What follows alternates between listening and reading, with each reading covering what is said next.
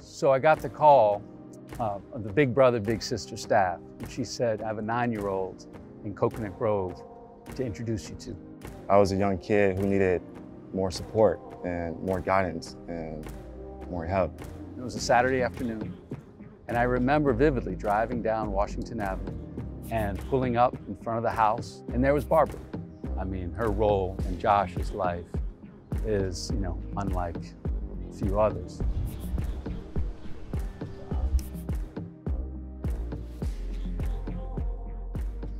They are a real match. When they go out and he comes back, it's a total difference. He's a happy child. Wow.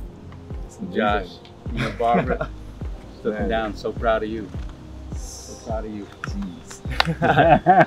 you shocked me with that video. I was I was kind of young. I didn't know what was going on. Um, I was a shy kid, but he had opened me up. Uh, he, was a, he was a great mentor to me. You could tell already someone who had such determination. Also someone who had such a desire to cut his own path, to find his own way. I started playing football since I was four. Um, my dad started coaching me. He started showing me the routes and everything. It's just all about fun. I, lo I love the game of football, and I wouldn't trade it for anything. And I remember Josh saying, I want to go to Columbus. I want to, I want to find a different path. And you know, it's not, it's not right next door. I mean, every day, you know, taking the bus, going there. I mean, you had to get up super early. I had to overcome a lot of adversity.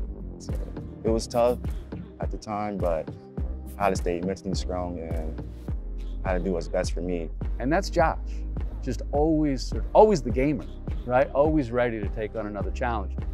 This jersey means a lot to me. Um, we won the national championship. It was hard work with this jersey. From the moment when we first met when he was nine, everyone in the neighborhood talked about him.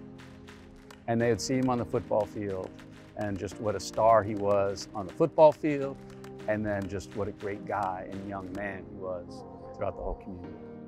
When I got the call from my high school coach, I went to his office. He told me Alabama had offered me. Tyree speedy and he got oh. blasted and the ball comes out. And Josh Jobe sent an early message.